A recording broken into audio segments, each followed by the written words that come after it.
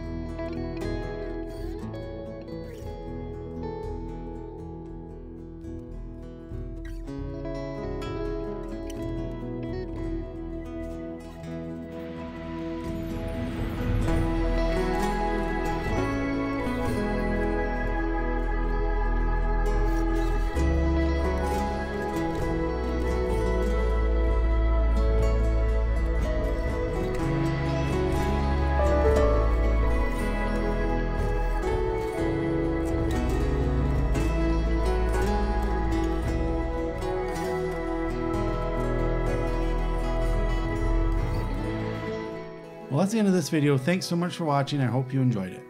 Make sure that you subscribe because in the next video from this trip, I will be getting a bird's eye view of the area around here by busting out my drone, so look forward to that. But for now, thanks for watching, and until next time, stay adventurous.